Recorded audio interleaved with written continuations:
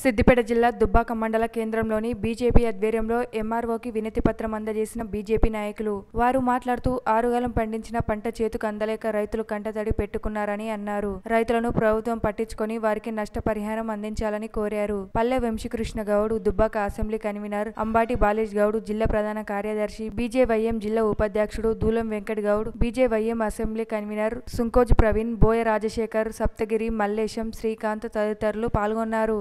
ఎద్దేడిసిన వ్యవసాయం రైతేడిసిన రాజ్యం బాగుపడదని చెప్పేసి ఒక నానుడు ఉన్నది. ఇప్పుడు తెలంగాణ వ్యాప్తంగా అకాల వర్షాలకు చాలా మంది రైతులు ఇబ్బంది పడుతున్నారు రైతే దేశానికి వెన్నుముక అని అంటున్నారు.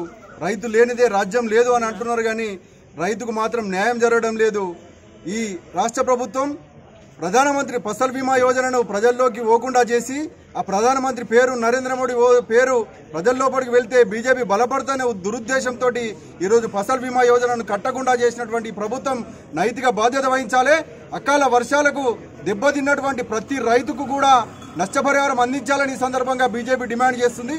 ఎందుకంటే చాలా మంది రైతులు ఇన్సూరెన్స్ మీద అవగాహన లేకుండా వాళ్ళు ఇన్సూరెన్స్ కట్టుకోకపోవడం వల్ల ఈరోజు ఈ నష్టపరిహారం వరకు అందరి పరిస్థితి ఉంది కాబట్టి ప్రభుత్వం వెంటనే ఆలోచించాలి.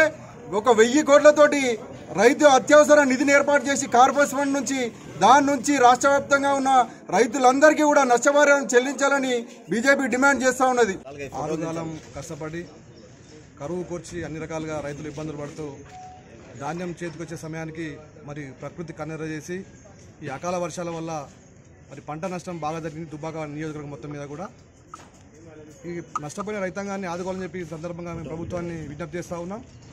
మరి అనేక ఇబ్బందులకు వచ్చిన రైతులు ఈ ఈ సమయంలో చాలా వరకు కూడా వరి పంట కావచ్చు పత్తి మొక్కజొన్న చాలా నష్టపోయారు.